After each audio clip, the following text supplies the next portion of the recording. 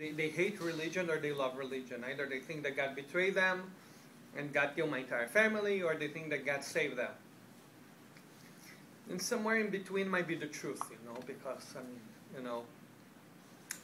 But there is a trait. They did a, uh, uh, somebody did um, a study for psychology, their PhD, about what, what it took for people to survive. I mean, obviously there's not one formula, but the people that survived were toughest than the rest of the people because a you know when you when you got to your barrack the person is absolutely lost because after a couple days in a train with no food no water they get to a room and there's all those people that have been there like for a while they look almost dead they just look like bones. And this person starts where's my family? Where's my mother? Where's my child? Uh, and they just look at you like you know you're an idiot and then they're tired. They, they, you start screaming and yelling, and they say, "You know the puff coming from there? That's your family. Now go to sleep because tomorrow you have four hours. Because if you want to have a cold coffee in the morning, and uh, that that's what their story. And they need to be able to work around the other people. Because the day you're not feeling that well, somebody needs to be in front of you. Otherwise, you're gonna get shot. You're not able to do what you do, or if you have a cold, or if you have a flu, or if you you know, if, if, if your head is, is, is, is, is itching because you have lice, you, you can get shot. You know? And so that's, uh, you know, it, it, it's, very, it is a subhuman condition that, that people go through. And it's very interesting because I think it has to do with the development of the Jewish people. It's because um, do you know in the Torah how many times it's written that you should love your family? Anyone? All the ones? No? How many times do you think? I mean, anyone? Come on, eh? Anyone here is bound to be a fundamental, well, being, being a fundamentalist Christian and know the Bible, right? It's in the Ten Commandments. It's kind of in the Ten Commandments. Honor huh? thy father and thy mother. But that's not love. Honor doesn't mean anything. No, I mean, I, I mean, know.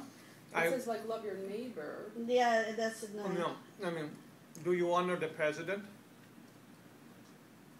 Don't ask that. I mean, you have. I mean, but this is interesting. I mean, when you go to a press conference and the president is, people stand up, no matter right. if they agree you or not. The they honor the president. Doesn't mean they like the president. Most of the time, even if it's from their party, they don't like the president because after after a while, you know, they're all politicians.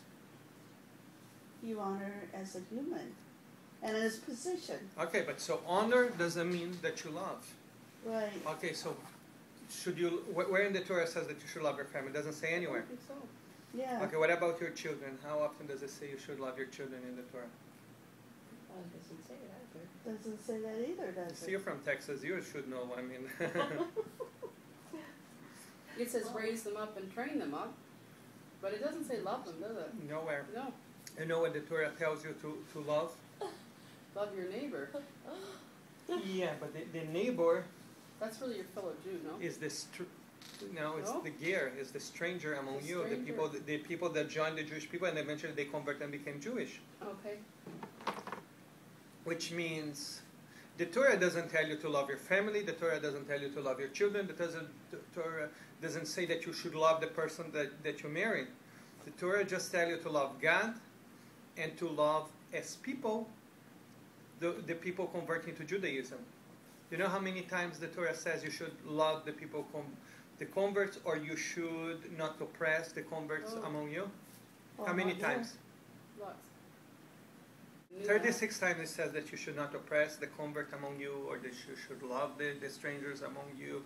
It says you've been a slave in the land of Egypt. But that's the point. I mean, if it says you've been a slave in the land of Egypt, why do you need to say 36 times? Don't you think that people are slaves? They understand what it is to be oppressed?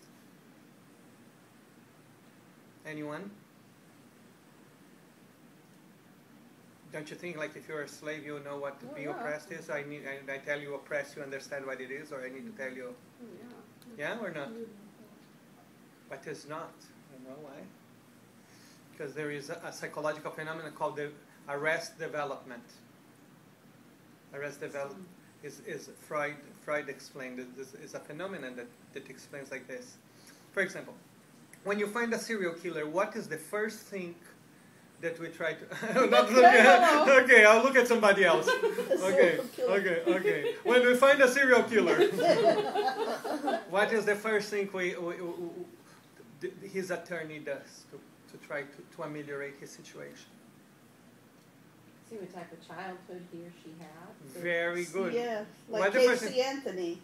You know, they say, oh, she was abused, he was abused. Yeah, You're never going to find anyone that you're going to find that committed a, a horrendous crime that if they dig inside of their, their childhood, they were not physically, sexual, or abandoned. They're either physically abused, sexually abused, or abandoned. Those, those are most of the things that cause this phenomenon called arrest development, which means um, feeling for others is the last thing that came in our evolution. You understand? Because because you, you, you don't see an animal having compassion for another animal. He They have instinct. We we have evolved to a certain point that we can feel for people that we don't have any other reason to feel, and be able to to to to even take care of them even goes against every single rule of, of the universe. Because the rule of the universe is that is the person fell and is weak, you go there and you eat them. That's how usually it works in the rest of the universe.